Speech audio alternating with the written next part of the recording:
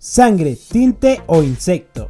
Los antiguos mixtecos y zapotecos del estado de Oaxaca descubrieron hace cientos de años que podían obtener un atractivo tinte tratando el cuerpo muerto y seco de la grana cochinilla hembra.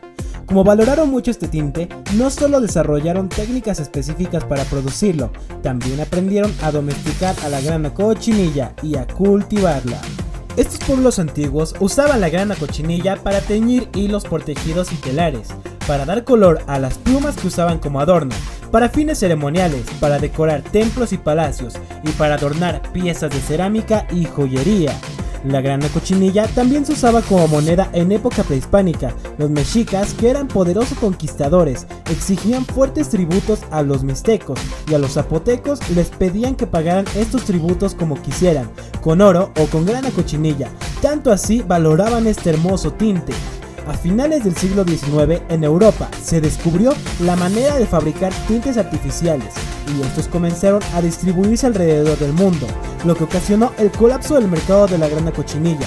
La producción del tinte natural suponía un trabajo manual, delicado y laborioso, que no podía competir con los procesos industriales de producir los tintes artificiales. La grana cayó en desuso.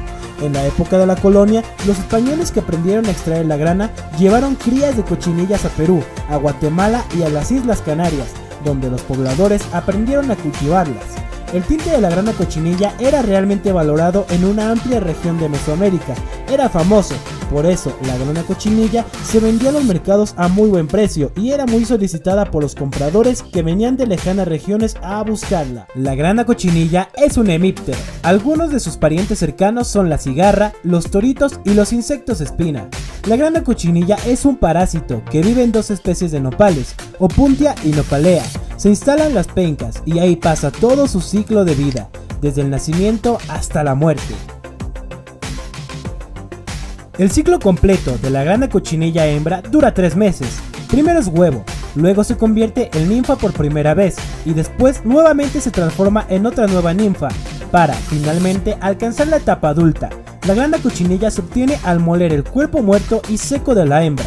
Por su parte, el macho tiene un ciclo de vida vital de aproximadamente dos meses y además de ser huevo y dos veces ninfa como la hembra, se convierte en pupa dentro de un capullo en donde sufre una metamorfosis. Del capullo sale un pequeño animal parecido a un mosco con alas. Este animalito tiene como única función fecundar a la hembra. Como este mosco no tiene aparato bucal para alimentarse, vive tan solo unos cuantos días y muere. Hay una cochinilla blanca, casi plateada, vulnerable, muy fina, muy delicada. Se puede distinguir porque produce un polvo que parece cera. Esta especie de grana cochinilla se puede cultivar. Es posible sembrarla sobre nopales, específicamente destinados a este fin. Pero existe otra cochinilla más pequeña que la plateada. Esta no puede ser cultivada. Tiene una gran resistencia a los cambios de clima y de altura. Este es un parásito voraz, capaz de acabar en 6 meses con la planta del nopal que parasita. La grana cochinilla es famosa porque con la concha seca y molida de las hembras se producen tintes maravillosos que van del amarillo al escarlata y son muy parecidos en la industria textil.